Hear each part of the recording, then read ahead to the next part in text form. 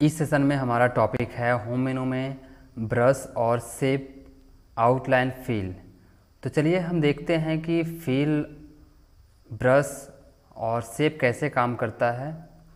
तो हमको ब्रश का यूज़ करने के लिए सबसे पहले हमारे ब्रश पे क्लिक करना होता है और जो भी हमको ब्रश यूज़ करना है वहाँ पे क्लिक करेंगे और यहाँ से ड्रा करेंगे तो वैसा ही ब्रश का आकार यहाँ पे शो होगा यहाँ पे।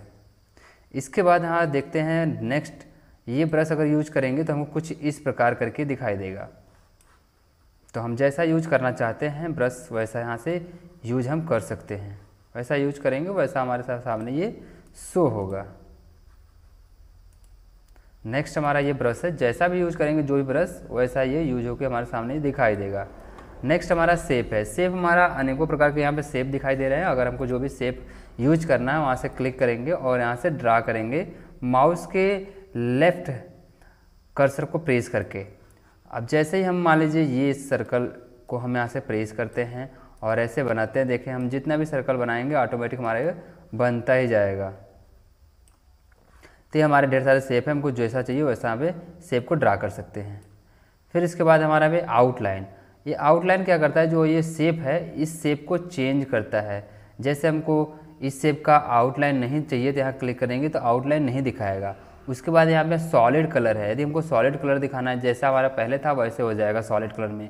फिर उसका क्रेन होता है थोड़ा सा हल्का हो जाता है। और यहाँ मार्कर हो जाता है थोड़ा सा ब्लर टाइप का दिखता है। ऑयली कर देंगे तो ऑयली टाइप का हमको ये हमारा शेप दिखेगा। फिर उसका नेचर पेंसिल कर देंगे तो नेचर पेंसिल की तरह दिखेगा। और वाटर कलर कर देंगे तो वाटर कलर की तरह हम, हमारा ये शेप दिखाई देगा। तो आउटलाइन कुछ इस प्रकार दिखाई देता है।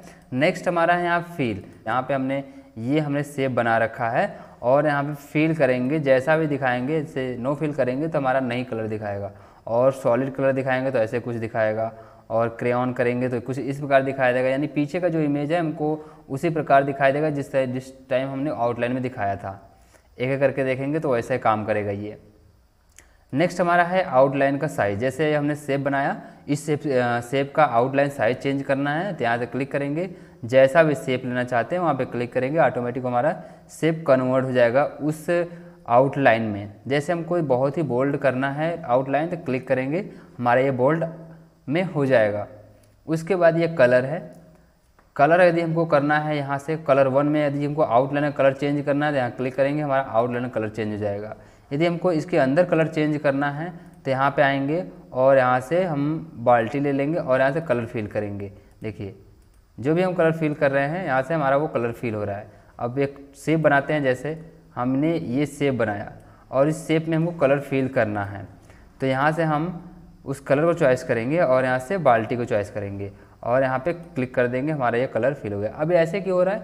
क्योंकि फिल कलर में हमने ये ही कलर को चॉइस किया है।